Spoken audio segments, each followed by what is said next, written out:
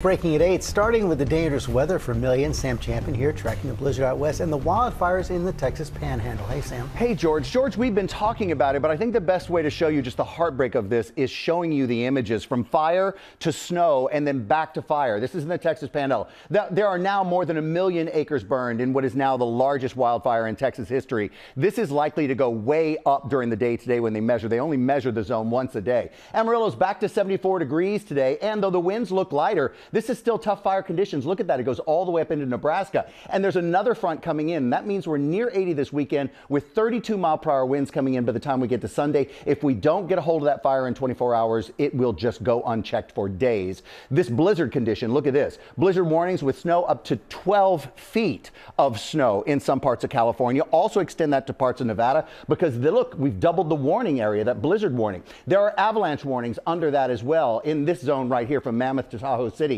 because there's just snow, so much snow coming that we could have avalanches there. This is a place that you do not want to travel in at all. As a matter of fact, they're shutting down roads right now.